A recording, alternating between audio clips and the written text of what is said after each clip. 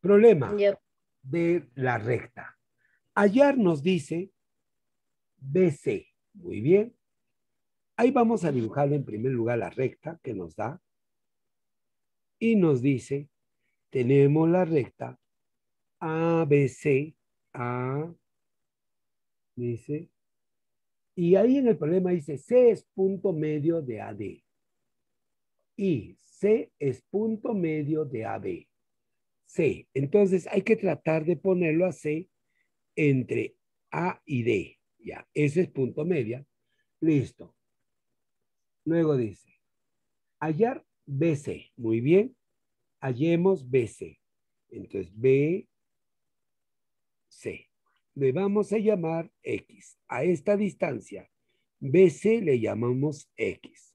Luego dice, AB vale 10. Allá. Esta distancia, profesor, vale 10.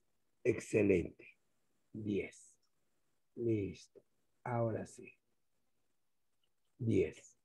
BD vale 24. BD vale 24. Entonces, esta distancia de aquí acá, si todo BD vale 24, ya tengo X, esto sale 24 menos X. Y todo este es 24, BD es 24, entonces CD es igual a 24 menos X, ya que tengo X esta porción.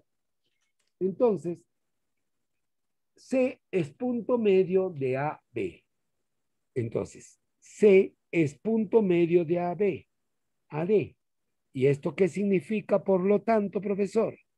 Que 10 más X será igual a 24 menos X, que esta distancia es igual a esa distancia.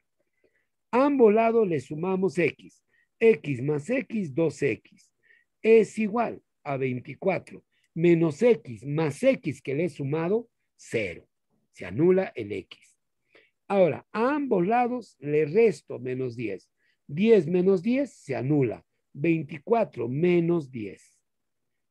Diría 2x igual 24 menos 10, 14. Entre 2, entre 2, mitad 1, mitad de 14, 7. La respuesta es 7 unidades. Academia Dinos, clase personalizada.